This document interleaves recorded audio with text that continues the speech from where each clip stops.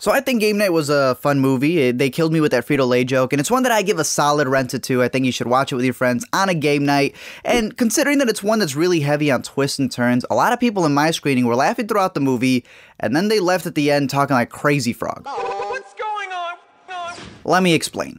You got three main couples. These two are the competitive bunch who met at bar trivia. They had a DDR machine at their wedding. They're always playing games and are very competitive in order to win, and they pretty much do except when it comes to having a baby.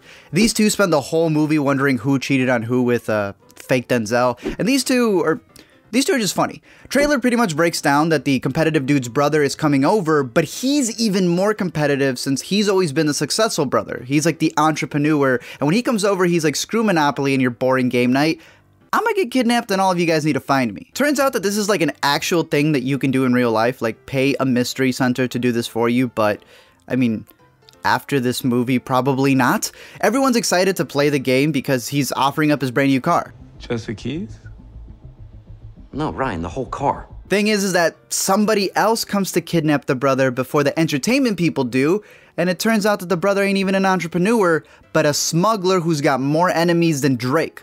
So the three couples now find themselves uh, trying not to get killed, but to go save the brother, only to realize as they go through all of these perilous acts that it was all set up by the neighbor.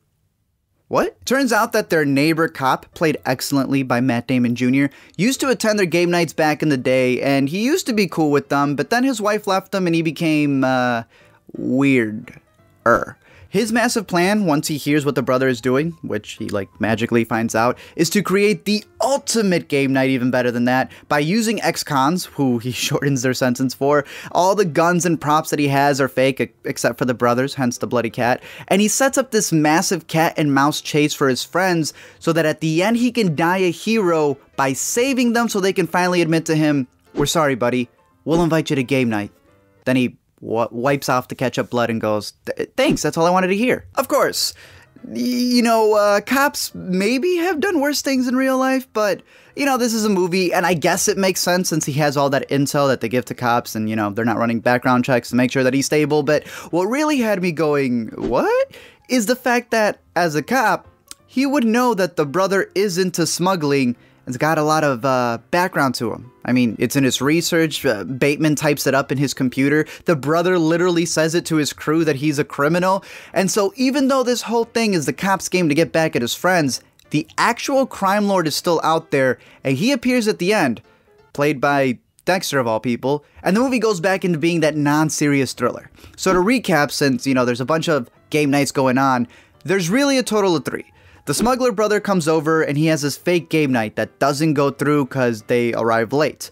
The neighbor cops is the main fake game night, which does go through since, you know, he's doing it all so his friends can love him again. The last one is, is really just more of a kidnapping because the crime lord appears because uh, he's looking for a piece of paper with witness protection info and he needs to kill them.